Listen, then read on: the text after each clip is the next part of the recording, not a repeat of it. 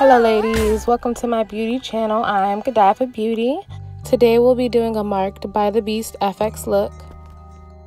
What I did was put Elmer's glue and some tissue paper or you could use cotton balls, um, mix them together and pasted it on my skin. I did rub around the outside of it just to make sure it stayed down and it didn't fall off.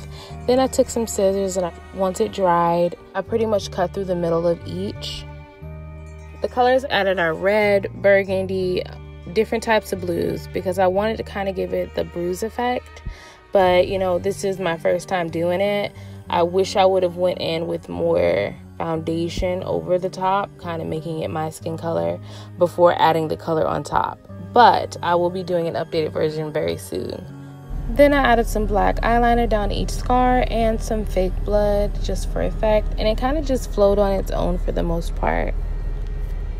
Thanks for watching, guys. To see more from me, follow me on Instagram, Facebook, and my YouTube channel at Godieva Beauty.